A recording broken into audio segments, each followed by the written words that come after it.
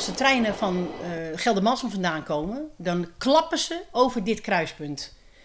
Aan de rechterkant en aan de linkerkant. En nou blijkt dat er iets met de lassen moet zijn, waardoor die trein, als je over die las gaat, dit gaat doen. En dat klapt. Nou, dat is net of er hier geheid wordt voor de deur. Zo'n geluid maakt dat. Heel erg vervelend. Zeker als je s'nachts je rust hard nodig hebt. Je wordt gefrustreerd, je kan niet slapen, je rust niet uit. Ik werk in de zorg. Nou, ik ga allerlei klachten krijgen.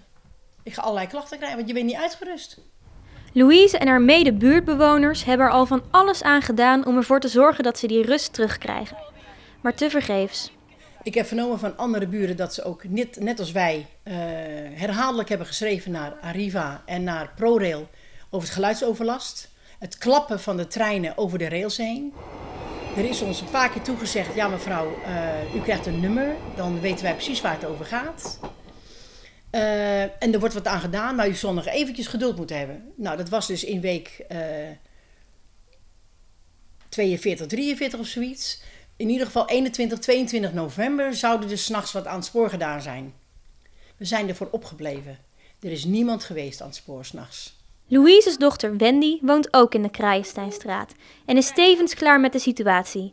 Volgens haar zijn het niet alleen treinen die zorgen voor de geluidsoverlast.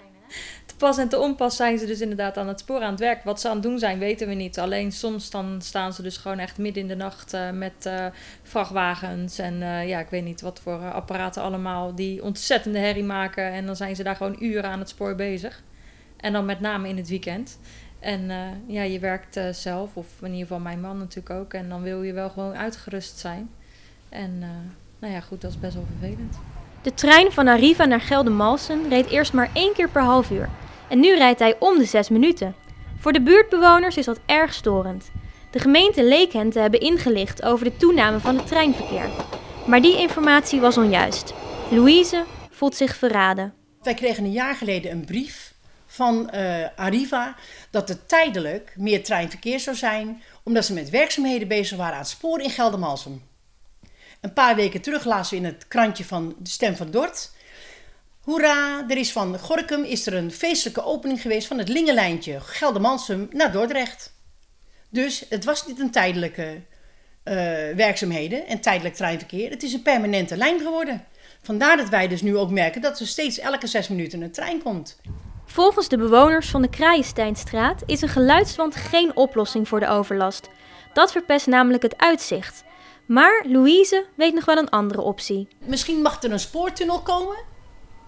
Dan vangen we vijf klappen, of vijf vliegen in één klap, zeg je dan, hè? Dan wonen wij er prettig, we hebben geen geluidsoverlast. De brandweer en de ziekentaxi of de ziekenauto's die kunnen gewoon doorrijden. Die hoeven niet meer uh, elke zes minuten voor, de, voor die uh, slagbomen te staan hier.